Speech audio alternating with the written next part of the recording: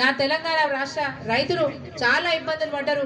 ఎరువుల కోసం కానీ నకిలీ విత్తనాలు అరికట్టడం విషయంలో కానీ మరి కరెంటు కోతలతో ఇబ్బంది పడ్డారు.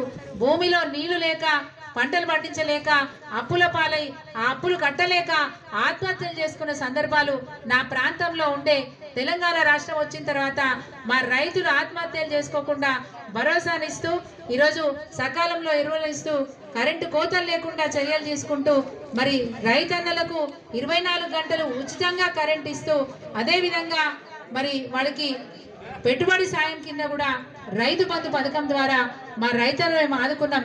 ఇప్పుడిప్పుడే రైతాంగం కోలుకుంటా ఉంది. మంచిగా పంటలు పండిస్తూ ఉంది. మరి వస్తున్న పంటను మీరు రోజు అదాట కొనను అంటే మరి ఎటు పోవాలి రైతాంగం అని చెప్పి మాట్లాడితే ప్రధానమంత్రి కొన అంటే కొన అని చెప్పినారు. మన మంత్రులు పోయి ప్రతిలాడారు. ఆయన కొనే పరిస్థితి కనబడతలేదు.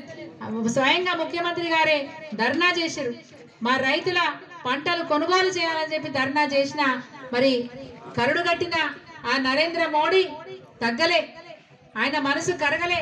రైతుల పట్ల ప్రేమ ప్రేమ లేదు కాబట్టి ఈరోజు ఈ రైతుల్ని ఆగం పట్టించే పరిస్థితి చేస్తే ధైర్యం చేసి ముఖ్యమంత్రి గారు పోయిన దఫా మరి వేసుకున్న పంటను కొనుగోలు చేయాల్సిన బాధ్యత మనది కదా అని చెప్పి కొనుగోలు చేసినారు. ఇక ఎఫ్సిఐ వాళ్ళ దయ. వాళ్ళు ఎప్పుడు కొంటారంటే అప్పటి వరకు స్టాక్ చేసి దాన్ని కాపాడుతూ ఉన్నారు. సరే ఎంత నష్టం వచ్చినా ఏమొచ్చినా రైతులు మాత్రం ఇబ్బందులు పడవద్దనే ఒక గొప్ప ఉద్దేశంతో మరి పంట కొనుగోలు చేసినారు. రేపు భవిష్యత్తులో కూడా అందుకే చెప్పినారు ముందుగానే చెప్పినారు. ఎక్కడికక్కడ వ్యవసాయ విస్తరణ అధికారుల ద్వారా వ్యవసాయ అధికారుల ద్వారా ఎక్కడికక్కడ సమాచారం రైతులకు అందజేసినారు. దయచేసి వరి పంటలు వేయకండి. మరి వారు కొననంటున్నారు. కొననంటే మనం స్టాక్ పెంచుకుంటా పోతే అంటే గోదాములలో స్టాకులు పెంచుకుంటా పోతే మరి అవి నష్టం వస్తే కష్టమవుతుంది కాబట్టి దయచేసి వరి పంట వేయొద్దని చెప్పి ముఖ్యమంత్రి గారు ముందరే సూచించినారు.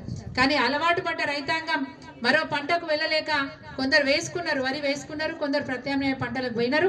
సరే భవిష్యత్తులో ముఖ్యమంత్రి గారు సానుకూలమైనటువంటి నిర్ణయం తీసుకుంటారనే ఆశాభావాన్ని నేను కూడా వ్యక్తం చేస్తున్నా.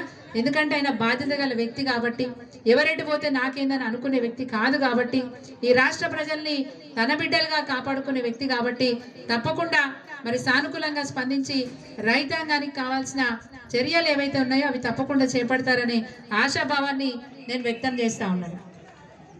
వెనకటికి నాకు గుర్తున్నంత వరకు నేను కూడా ఎంపీపీగా పనిచేసిన సర్పంచ్గా పనిచేసిన నాకు బాగా గుర్తుంది. నేను యారుగుంట ఎంపీపీగా ఉన్నప్పుడు ఒక్కడే ఒక్కడు ఉంటుండే వెంకట్రావు అని